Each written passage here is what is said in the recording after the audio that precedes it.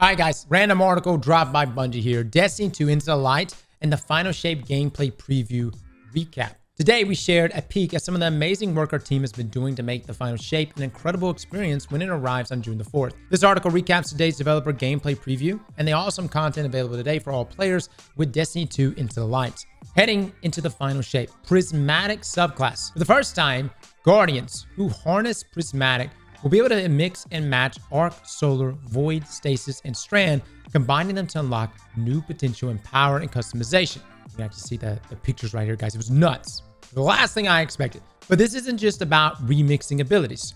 You'll be able to break the known limits of light and darkness by entering Transcendence, a state only possible when using the Prismatic subclass. By dealing both light and darkness damage, you will charge 2 meters that, when filled, enable a temporary state of transcendence that unlocks a new unique grenade ability and weapon damage bonuses. Now, new build crafting possibilities. Along with Prismatic comes aspects and fragments to further customize your build and enable combos you never thought possible. And good news, players only need to unlock these aspects and fragments once to get them for every class. You'll also be getting more aspects and fragment slots than ever before.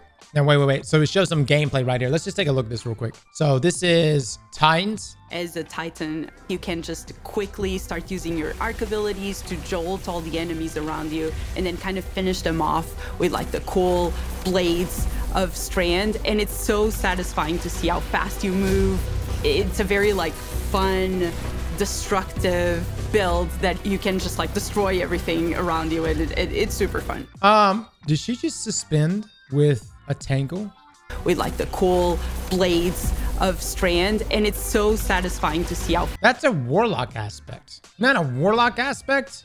Look at the HUD. That's Wander. So, so am I getting this right? Not only are we cross merging different subclasses, are we going to be able to cross merge aspects too? Everyone keeps saying expand the. Quickly expand start the using your arc abilities to jolt all the enemies around you, and then kind of finish them off with like the I love that here on the left side. If you notice this, guys, you see knockout, you see radiant, you see amplified, and then on the on the right side, notice they got the buffs and debuffs split here. Left side, you've got you've got your buffs, amplification, radiant, knockout. Right side, or at least right side, looks like it just has its cooldowns. Tangle cooldown, heavy-handed cooldown. Is that not incredible? Holy, holy hell, that is amazing. But hold on. We like the cool blades of Strand, and it's so satisfying to see how fast you move. So right here, I also see slice here at the bottom left hand of the screen. Not, but it also looks like text are cut off there. A little bit of text is cut off.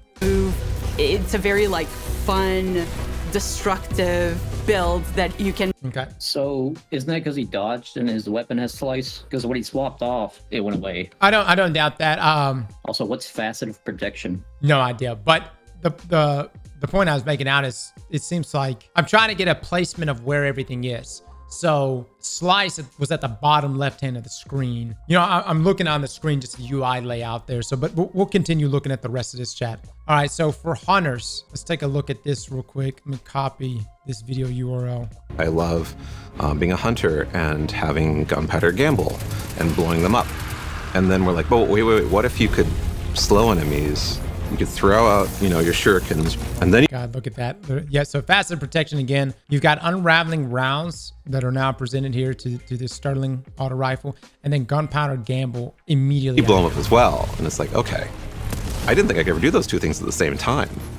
And then again, again here on the right side, chat. After he did that, look on the right side. You got firepower cooldown. So Bungie has really cleaned up the UI here. Or any issue right now where you have so many things happening that you don't know what buffs and what debuffs and what cooldowns are currently active. They've split it up on the screen here, which looks amazing. I know right now we're supposed to be you know, like focusing on the the gameplay aspects, but I, I can't help but notice the UI. We've got gunpowder gamble cooldown on the left, firepower cooldown on the right. What just happened? Bungie, I was talking really good about you guys. What the what just happened?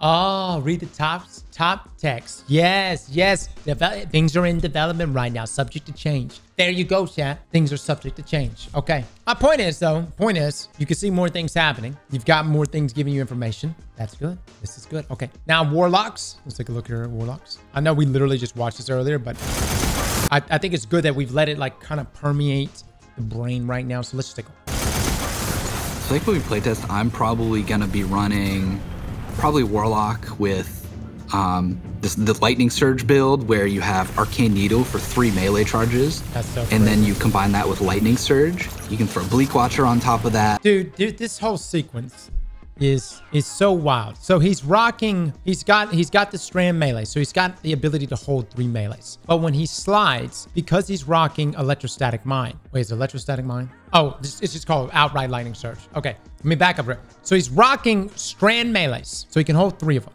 he's rocking lightning surge aspects which means when he slides, it actually will convert this. You'll see it right here. It'll convert his melee to lightning. Notice right here.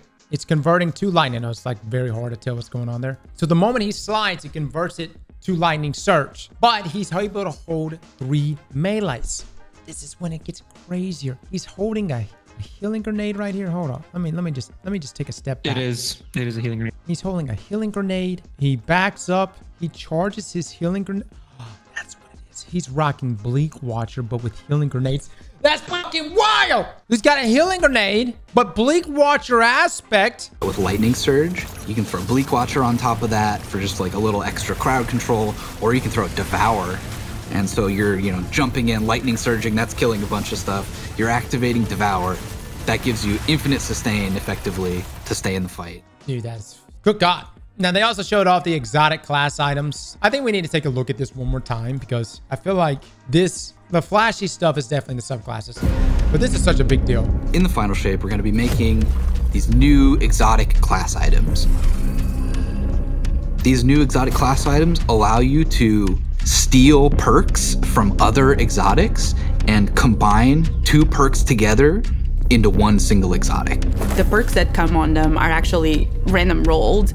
One thing that is going to be fun is While your super energy is full, picking up an overpower overcharges your super, granting it bonus damage. So it's that spirit of the Star Eater. So that's literally Star Eater scales. Not everything though, unless it's everything and they just don't have enough room to put it in the, into the text. Then right here, Spirit of the Ophidian. Oh my god. Oh my god, Les, you're able to take mm-hmm. exotic traits from other classes from other items on other exotics from other classes and put them on your class. I took I Ophidians. It's Star on a hunter. Give me that Ophidian stompy loadout. Oh my god, can you imagine? You got a I'm, hoppy I'm ruining PvP. you got a hoppy hunter now with extremely quick handling. Oh my lord. I will say this is going to bring back one hell of a grind Oh since it's all lord. random. It's all random, dude. This is wild though. This is like developers what they do in their playtime when they want to just play God, you know? Dev's gone wild. This is devs gone wild. Chat, just imagine any of the different combos that you could possibly use. But even like damage boosting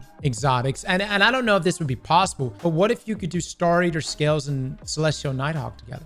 What happens then, dude? A one, a super shot with Celestial Nighthawk after picking up orbs. Just, just, just, that's a nuke. That would be a nuke. All right, I'm gonna continue reading this though. Guardians can push their prismatic builds even further with new exotic class items coming in the final shape. Exotic class items work specifically with the prismatic subclass and will each roll with two random exotic perks inspired by selection of other exotic armor pieces, even from different classes. That means a hunter could have an exotic cloak with some of the unique qualities of Assassin's Cowl combined with parts of Liar's Handshake. Oh my god. Well, there's my question. Dude, you go in, you freaking, you punch something, That build's going to be broken. you go in this, and you're getting a damage buff with Liar's Handshake. That is insane. On the other hand, Warlocks could get an exotic bond roll with perks of Apotheosis Veil and Star Eater Scales. And Titans getting get an exotic mark with parts of Ophidian Aspect and Precious Scars. Good God. Now, these are the, the actual marks themselves. They do look beautiful, man.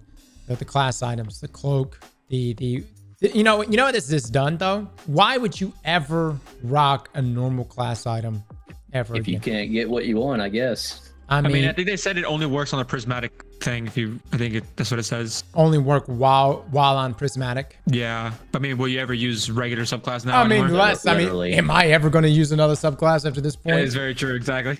I, dude, I don't think I'm I'm ever going to. I mean, once prismatic comes out, guys, I, I think I'm just going to main that. Can you imagine players that don't have prismatic unlocked? Playing you in PvP, they're gonna be like, "All right, he's got it. He's he's got strand. What the? He's got solar.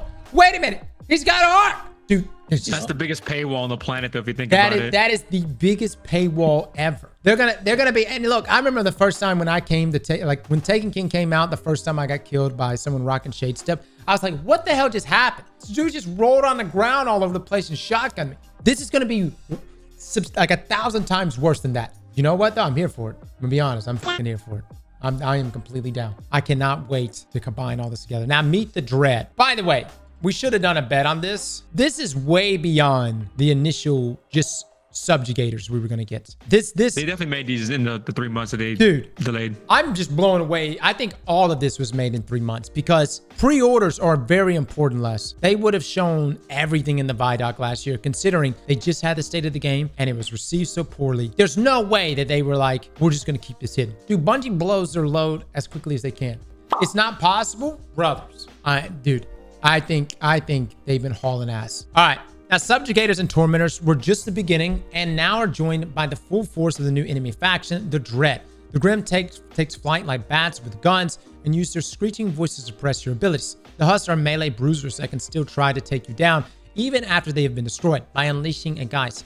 The Attendant and Weavers are Stasis and Strand Wielders respectively, who will use their darkness powers to freeze you in place and pull you across the battlefield. You'll have to adapt and find new tactics to defeat these new foes in battle. Gotta say, they do look very, very tough. Despite us being heavily overtuned in this next expansion, I will say that this group of, of enemies that we're about to be facing, like they they they look difficult. I would actually like to see like if we had like Cabal forces come inside the Traveler with us, how quickly this new enemy faction could poop on Cabal, right? And more to come.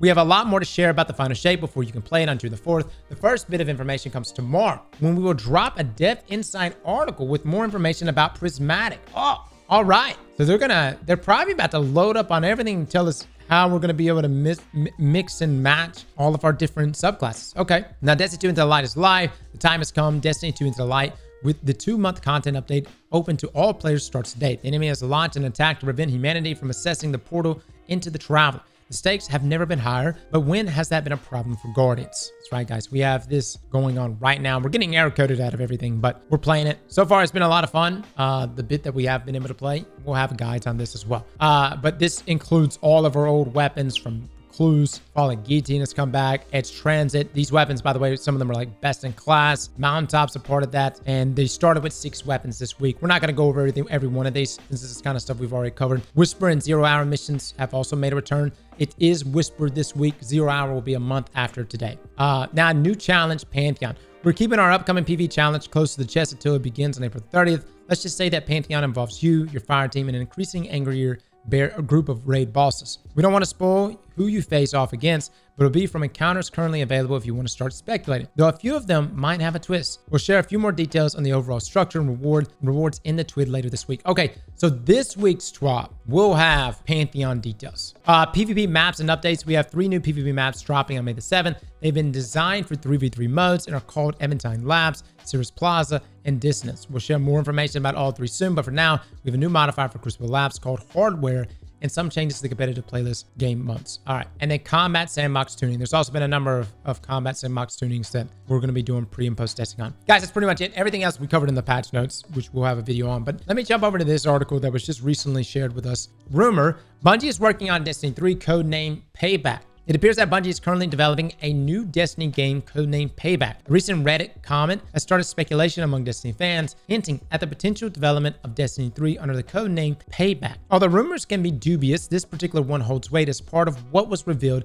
is now officially confirmed in today's The Final Shape gameplay preview livestream. On February 28, 2024, a Reddit user named 32638272187 posted a comment on the Destiny 2 leaked subreddit about a new system coming with the Final Shape expansion called Prism that will allow players to mix and match abilities from different subclasses. Fast forward to this week, Bungie has officially confirmed that a new subclass called Prismatic will be introduced in the Final Shape expansion. So the guy not only nailed the leak, but nailed the name structure. Okay. All right. I don't know. Anyone here know if Prism has been leaked yet? Since there's been no answer yet, I guess I'll leak it. Bungie is working on a system called Prism that will allow players to mix and match abilities from different subclasses. The Reddit reply reads, This is one of the things being, being worked on during the delay. Imagine throwing a lightning grenade while on solar, or proccing Devour and rampaging with Stormcaller. Dude, is this like Luke Smith alt Reddit account or something? Now, is Bungie working on Destiny 3? Destiny 3 codename Payback is reportedly in development at Bungie as revealed by the Reddit user in the same comment. Leaks suggest that Destiny 3 could mark a seismic shift in the franchise's mechanics, moving away from the class-based system to allowing players to spec into any ability. Below is the full comment regarding the rumored Destiny 3. Destiny 3 is, was, I don't know, in development under codename Payback. The comment reads, one of the big changes for Destiny 3 is, was again, I don't know, classes to no longer exist and allow any character to spec into any ability since lore-wise, there is no reason you couldn't. Hunters explicitly learn to blink from warlocks, and blink isn't tied to a single element, hence the logic there. That's true. Although the idea of such a drastic change in the franchise is intriguing and may excite many Destiny fans, it is crucial to approach these rumors with a healthy dose of skepticism and a grain of salt. The Reddit user claims they received this information from former Bungie employee employees. No, this isn't a speculation. I've actually talked to a couple of uh, former Bungie employees who told me about these. The reason I'm saying maybe is because they, they are former employees and therefore don't have the most up-to-date information anymore. User replied to comment under the same thread. Destiny 2 executive creator director Luke Smith has teased the future of Destiny 2 and the franchise in the Final Shapes preview livestream, saying that Bungie will reveal more details on what's to come in the world of Destiny 2 after players face the witness in the upcoming expansion. Destiny 2 The Final Shape is set to launch on June the 4th, 2024 on PlayStation, Xbox, and PC. Ah, uh, I don't know, man. Let me let me just say this as far as at least the people I've talked to. This is also this is in game development, but this is also directly in Bungie. Timelines can change very quickly. For instance, before 2020, the thought of making a Destiny 3 was completely off the table. It was it was almost as just stated as an impossibility. And then suddenly, going into Beyond Light, Destiny 3 was was being talked about. It, it, it was being talked about. So what I'm saying is things shift. Just like one second matter was a game being, you know, rumored to be in development. And then next thing you know it, it was canned. And it was actually canned back in 2020, 2020, 2021, something like that. So what we're getting right now is what I would consider to be Destiny 3 like content. I mean, Prism, that's Destiny 3. The only other thing I can think of that would justify a sequel is if Bungie took that next big jump and, I don't know, maybe just gave us a huge overhaul to the game itself. Maybe like a, a graphic overhaul, uh, start everybody over from you know, scratch essentially, and then remove the limitations, like they said there, where if you're on a Titan, you can blink, you know, maybe take an open world approach. Do keep in mind that if there is going to be an overhaul of such such such a thing, and if and if it is going to be a, of great magnitude, they're probably going to have to cut last gen consoles. You know, this is probably going to be only for current gen and future gens. Like it, it's probably going to cut PlayStation 4 and the old Xbox. What if they just find a way to transfer D2 to D3? That's also a possibility. You know, this th th these are things that you could do with D2's current you know, I would, again, I'm not speaking from a mechanical or engineering sense. I'm, I'm speaking from based on like certain games that have done overhauls and just continue that same game. For instance, didn't, isn't Final Fantasy 14 getting a, it's getting like a huge graphic overhaul, right? Unless there's some like major, major mechanical changes. But let's just be real. Prism is a major mechanic change. It is. It is a major mechanic change in itself, and they're still able to stay. So that's what I'm saying. Going from Destiny 2 to Destiny 3, outside of starting fresh, which I, I'm not necessarily completely against, but completely starting fresh. My my question is, is you know, why the jump there in in, uh, in sequels? I will say that there there are two different camps. Well, I want to say two different camps. In conversations with folks when it comes to Destiny and Bungie. A question that was asked a long time ago and that was posed to us, what are aspects of Destiny 3 that you would like to see in Destiny 2? And, you know, there was some some talk and dialogue around that. This is way back but the talk of customizable subclasses was brought up. And so a lot of those things in conversation was in, eventually implemented in the Destiny 2. Prism was one of those that I'm gonna be honest, I, I just dreamed of. I never thought that that would become a reality. We just dreamed about it, and here we are. Lore wise, it wouldn't make sense for us to start fresh unless our Guardian isn't the same. The only way we would start fresh is if there's some sort of weird time shift skip bullshit with the the Vex and suddenly we have to we're a completely new Guardian. I will say Destiny 3 will lure, lure, lure in new players for sure. But if they are going to go with the D3, I think they should go, I mean, full sin MMORPG this thing. I'm talking open world. Instead of just like, hey, I'm running around, I'm gonna I'm gonna load into this dungeon, which is all right. I mean, I'm not exactly against loading into dungeon, but wouldn't it be cool to be running around the map and then you discover the dungeon? You got a team of people that are like, hey, you want to come hit this thing with me? Let's do it. And you go into the dungeon with them. Look, look, look, look, look, look. Everyone that's in there saying copium, I just want you to know, you came into today's stream today saying there's no way we would get an enemy faction, new enemy faction, and there's no way we could get a new subclass. You want to come at me now? Huh? You want to I come think at some me? people said we'll get a new subclass. We just didn't think it'd be what it is now because this is crazier than a new subclass. There were some people, but there were a ton of people in here that did not think we were going to get a new subclass, myself included. I, I personally thought that only three supers and three aspects was not enough. I was like, this is all we're getting